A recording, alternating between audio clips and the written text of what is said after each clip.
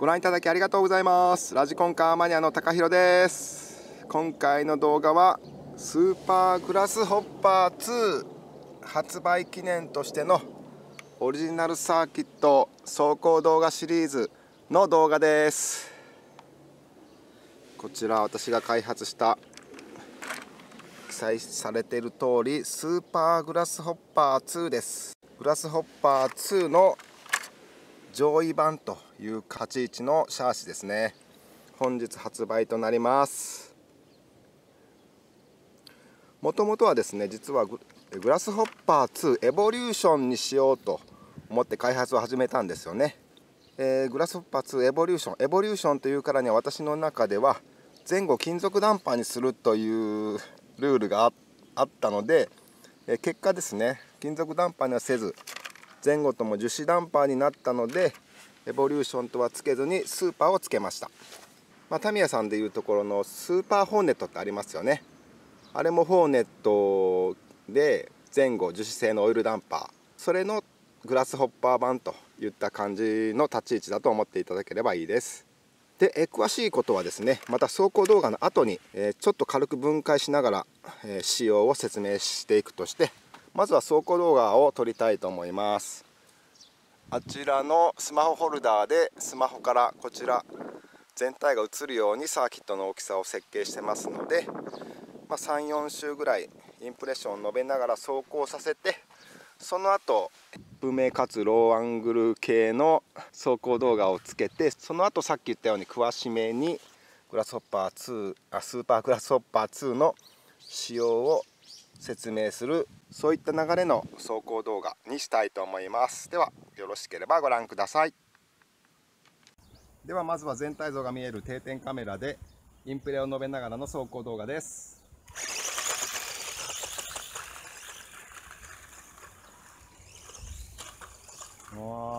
リアはともかくフロントが跳ねないのでよく曲がりますね。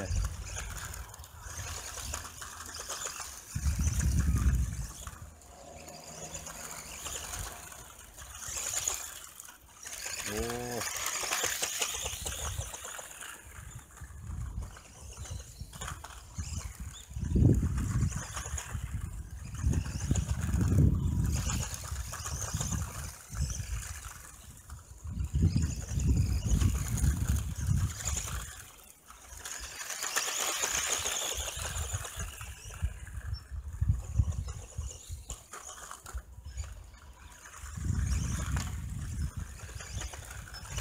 知らせやすくて走るので夢中になりますね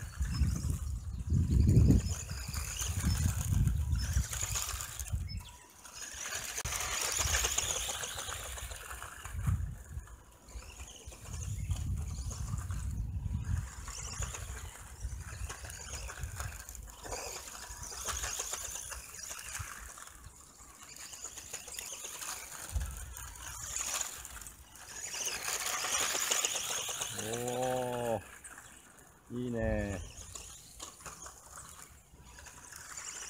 いいねとしか言えないですね。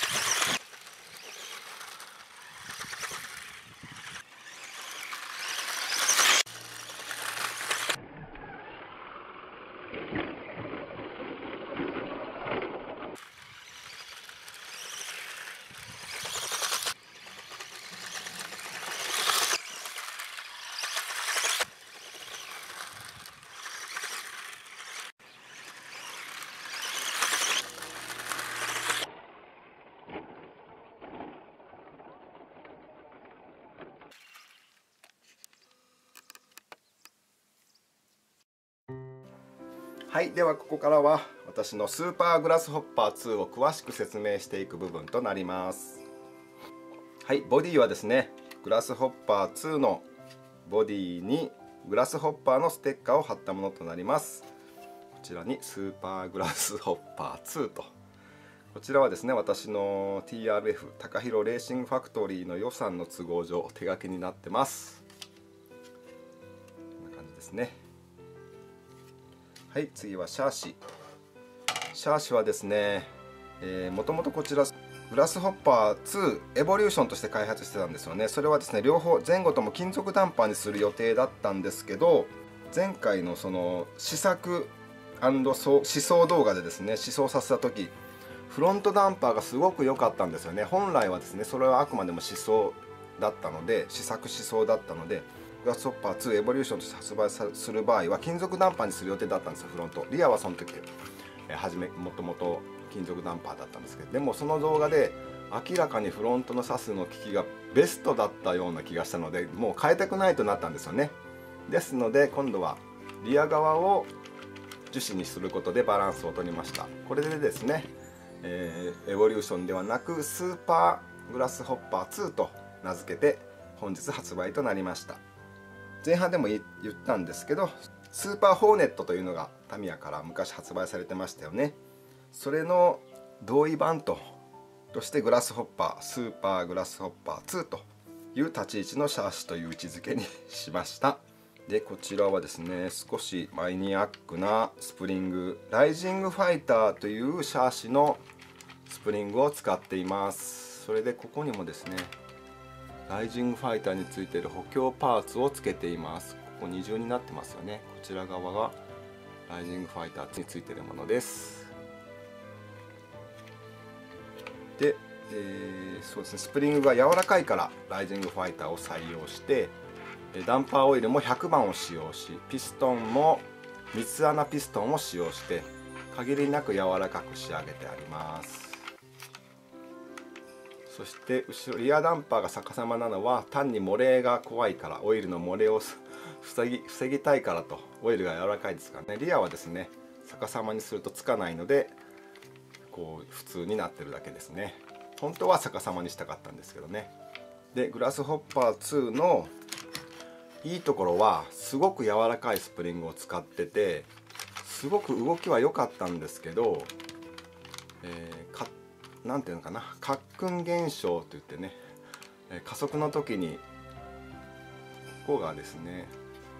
一番上に目いっぱいまで上がってローリングが効かない状態になるんですよね。それを防ぐために外して説明しようかな。ここ見えますかね？ここにロッドをつないで少し持ち上げた状態で固定するようにロッドの長さを調節して作ってあります。これでですねカックン現象が起きなくてどんな状況でもローリング方向に動くようにしてありますこのねロールをさせる綺麗にさせることが肝だと前回の思想動画で分かったのはフロントがですねすごく綺麗に動いてるのにそれに対応してリアが動かないと意味がないんですよね結局フロントを綺麗に動かしても。ということを感じたのでこだわってこのようにしました。あとは特にないですね。グラスホッパー2ですので前後ともグラスホッパー2のノーマルタイヤを使用してギアボックスもノーマルを使用しています。まとめますとスーパーグラスホッパー2はグラスホッパー2のボディにグラスホッパーのステッカーそして前後とも柔らかい設定のオイルダンパーにしてあります。そしてここをロッドでつないでこのギアボックスを持ち上げてる状態にしてあると。これがスーパーグラスホッパー2の詳しい説明となります。ではご覧いただきありがとうございました。